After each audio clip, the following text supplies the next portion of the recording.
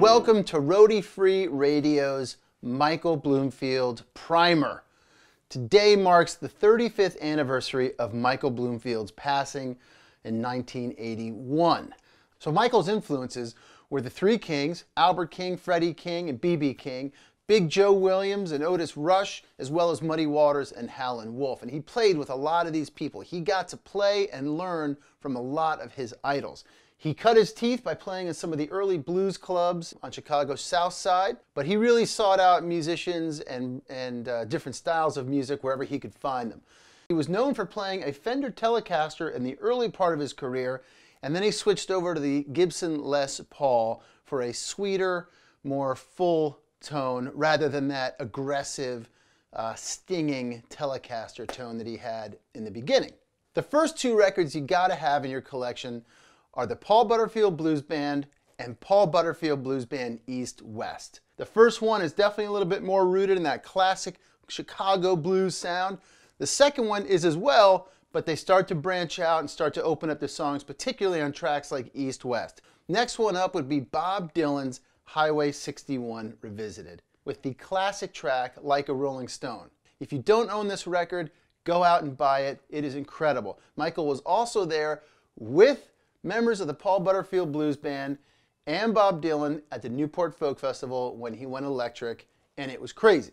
Next up, Michael formed a band called the Electric Flag. His vision for this band as sort of a celebration of American music. A lot of horns going on, a lot of blues, uh, fronted by Nick Gravenites, Buddy Miles on drums. Killer, killer band. The album I would get for this would be A Long Time Coming. The next record I would get would be Supersession. It features Al Kooper, Stephen Stills, and Michael Bloomfield. Now, Michael suffered from insomnia terribly, so he only plays on the first side of this record, but the few tracks that he's on are absolutely incredible, kicking the album off with Albert Shuffle. To prove the critics wrong that that what they did in the studio was a lot of trickery.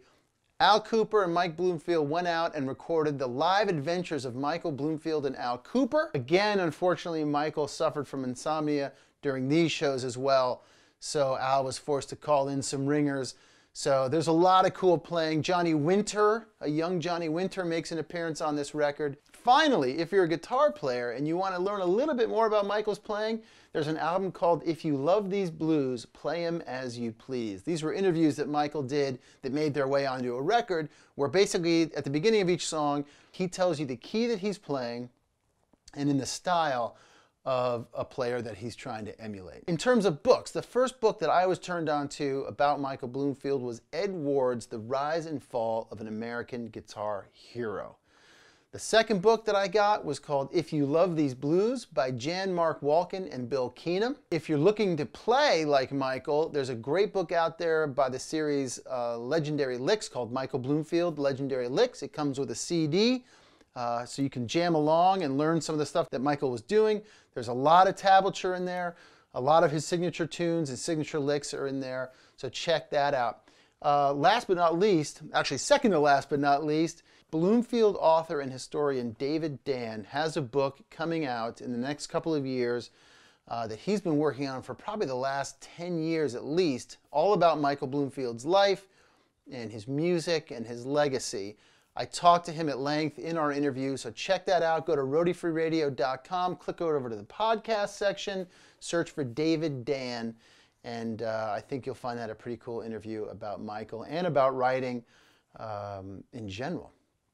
All right, finally, and something that is most um, close to my heart and that I'm really proud of is this box set right here that was produced by Al Kooper for Sony Legacy Recordings uh, a couple of years ago. This box set has three CDs of music that Al went back through and put together an incredible collection of Michael's work. Now, basically you've got the Roots. Roots is the first CD. You got Jams, it's the second one. The third one is Last Licks, kind of later stuff of Michael's. Um, and then finally, and last but not least here is Sweet Blues, the DVD, a film about Michael Bloomfield that my good friend Bob Sarles and his wife Christina Keating directed and produced. I was fortunate enough to be a co-producer on it. So there you go, guys. There's my Michael Bloomfield primer for February 15th, 2017. 35 years to the day that Michael Bloomfield left us for the great concert in the sky. I want to thank you guys for watching. Please don't forget to subscribe to the channel. Head over to roadiefreeradio.com. Check out some previous podcasts, particularly my interview with author David Dann. And keep tuning in. You never know where I'm going to pop up.